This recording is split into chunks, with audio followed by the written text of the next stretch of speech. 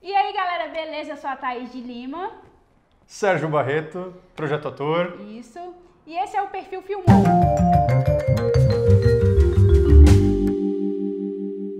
Bom, quem já conhece o Perfil Filmou tem uma ideia do que, do que que já é. Tipo, a gente faz algumas perguntas interessantes e para montar realmente um perfil seu é, da sua história cinematográfica, vamos dizer assim. Meu, eu confesso que eu tô um pouco tenso, sabia? Eu tô tenso porque é muito difícil decidir. É, Vai, vai, vai ficar registrado o meu gosto pra, pra eternidade aí no Filmou, meu mas Deus do céu. nós seres humanos mudamos. É, exato, então- é. Tenha isso em mente, tá? É. Quando eu assistir. Eu, eu, eu tenho 30 anos, mas eu acho que a minha cabeça aqui nessas respostas É. vão ser de 10, de 7 anos. É, vai mudando. Então sempre tem que fazer um perfil filmou assim, é, sempre atualizando os Verdade. filmes favoritos, etc.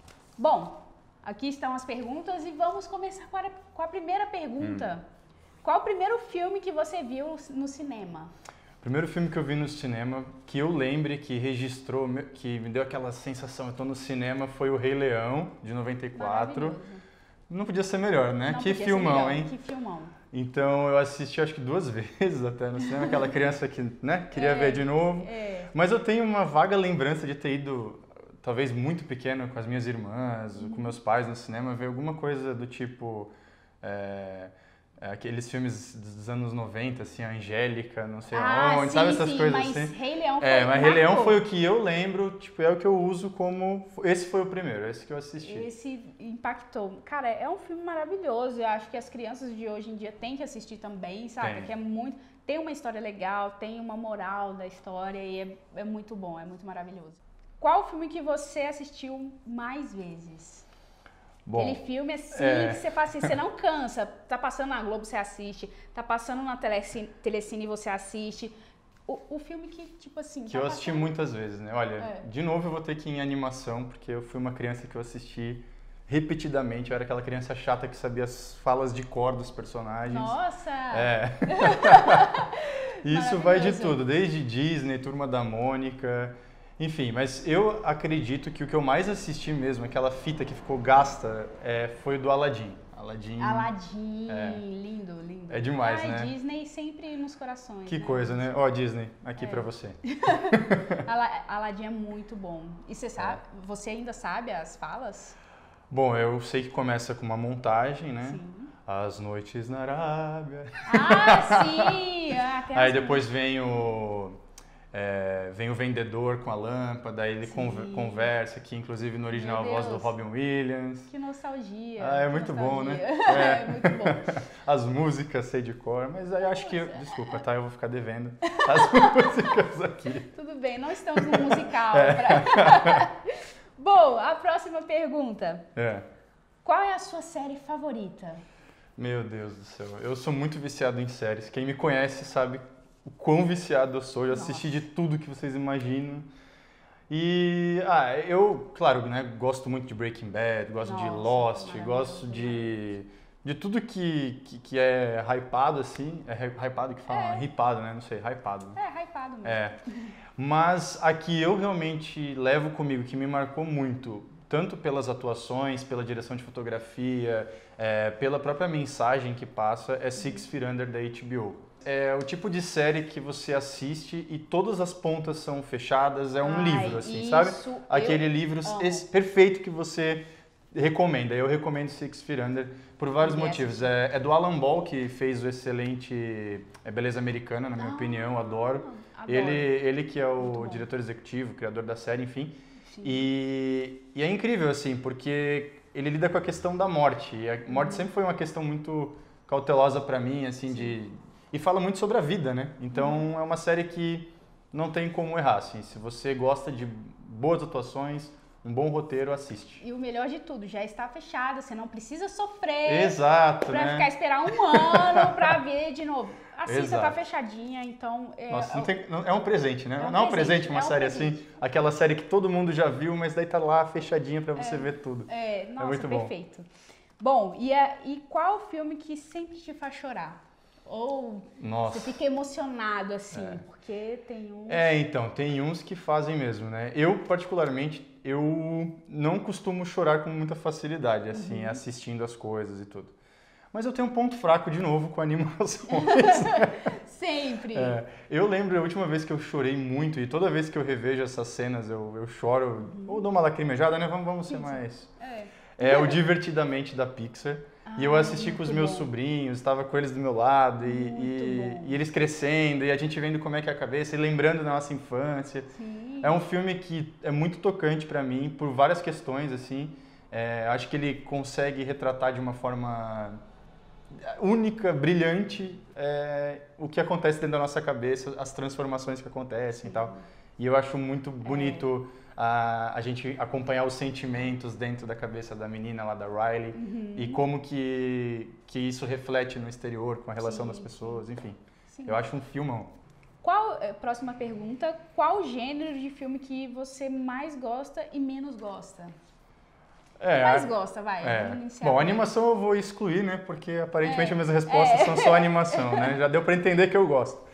É, eu, particu eu, eu gosto muito de filme de drama, é, principalmente aqueles independentes, onde que se explora muito o silêncio, as relações, sim, sabe? Sim.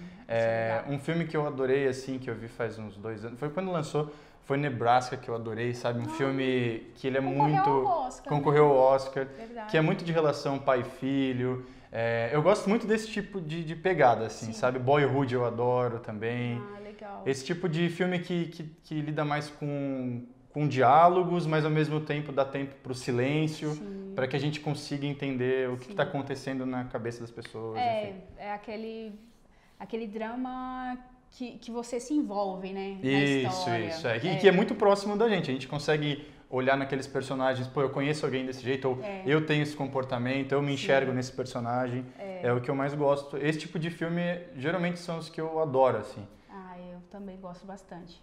E, e o, o gênero que você menos gosta? Ah, é. Talvez eu vou gerar uma polêmica aqui no hum. Filmou. Mas eu, eu não, não é que eu não goste, mas eu tenho uma resistência a filmes muito épicos, assim, sabe? Ah. Em termos de batalhas e. Não, não batalhas, batalhas. Heróis? Filmes de heróis eu gosto, eu já assisti vários, gosto. Uhum. É, mas eu prefiro os heróis como Batman, eu sou viciado em Batman, ah, por exemplo. Batman que é uma é coisa que é mais próxima da minha realidade, é. assim. Diferente do Superman. Superman eu não gosto muito, por exemplo. Ah, sim. Eu assisti os filmes, tudo, tipo, eu me divirto assistindo.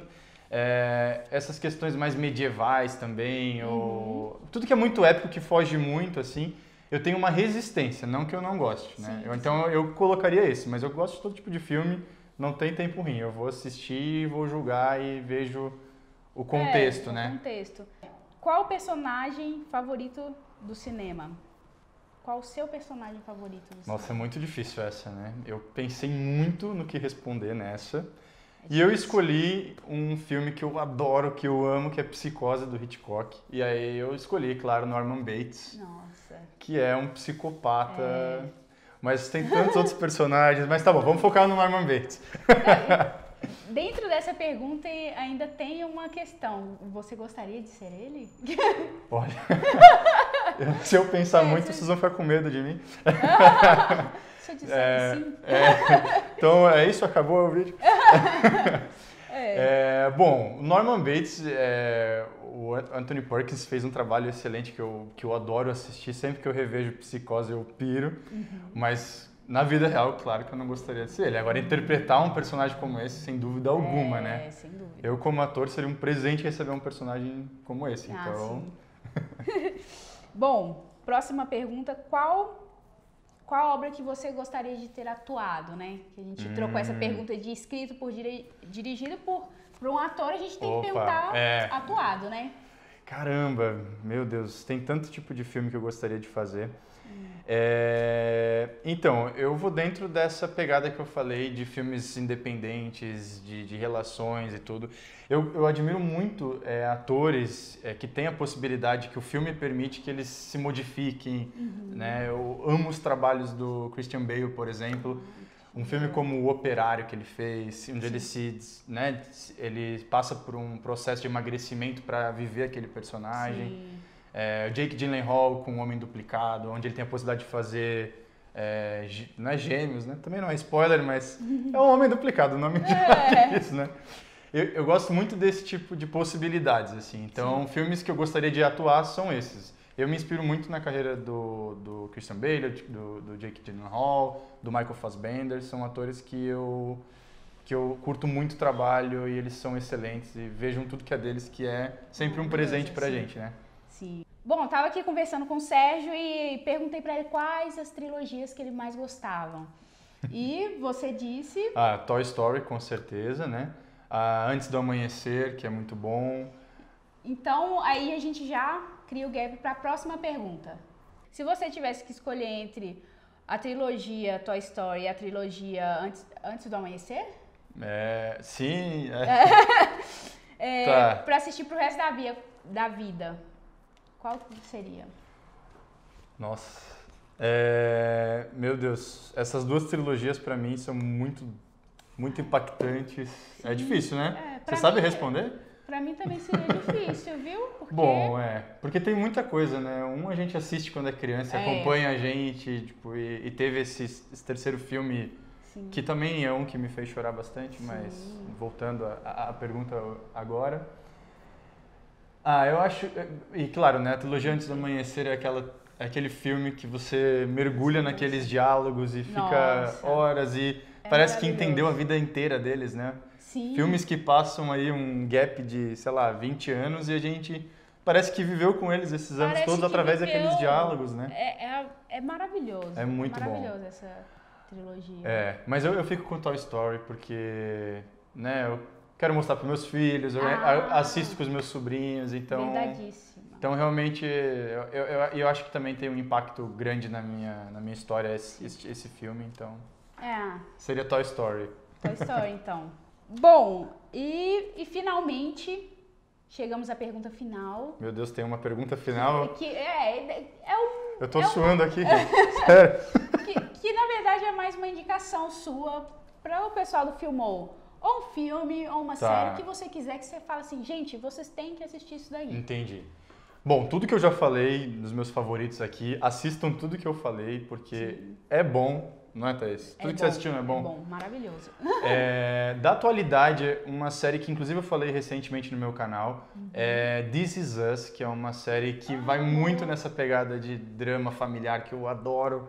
Amei, É, amei. que mostra né, o passado dos personagens. A gente, eu acho que um bom- uma boa série pra mim, indiscutivelmente, é bons personagens, né? Sim. É aquele que a gente assiste e parece que a gente conhece a pessoa. É. E This Is Us é uma série que você conhece aquelas pessoas, É, porque a, a gente cada vê episódio você vai conhecendo É. mais e mais e desde o passado, desde É. quando eles nasceram, a gente, a gente sabe o que aconteceu com eles, quais foram as dificuldades da infância, é, quais os problemas que eles passam hoje, como é que eles se divertem, como é que a gente sabe quem são todos eles. Isso pra mim é uma série que vale muito a pena assistir. Sim.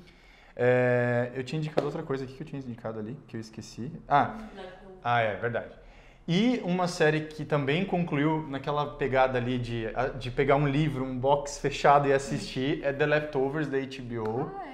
que é uma série que acabou recentemente na terceira temporada, Uhum. que é demais também. A HBO, Uma pegada. É, a HBO é muito difícil errar, gente, né? é muito difícil errar. Eu não consigo lembrar de um erro da HBO. Você consegue? o que, que eles erraram? Eles fazem só série boa. Sim. Então vale muito a pena ver também The Leftovers. É, é até difícil de explicar a premissa, mas basicamente um momento da sociedade, um percentual de pessoas sumiram, assim.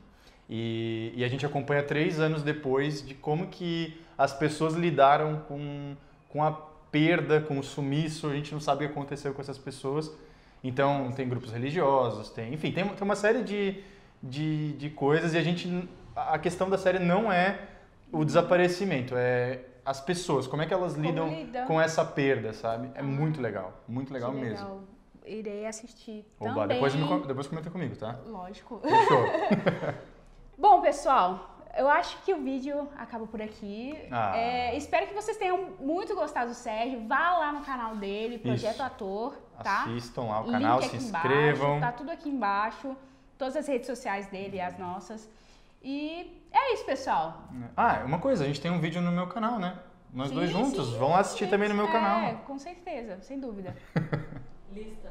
A lista que tá pronta. Ah, no tá, verdade. Bom, e lembrando que essa lista, que todos os filmes, todas as séries que a gente falou aqui, está lá no Filmou, também tá aqui, link aqui embaixo, só para não, não esquecerem. Bom, é isso aí, pessoal, muito obrigada. Tchau. Tchau!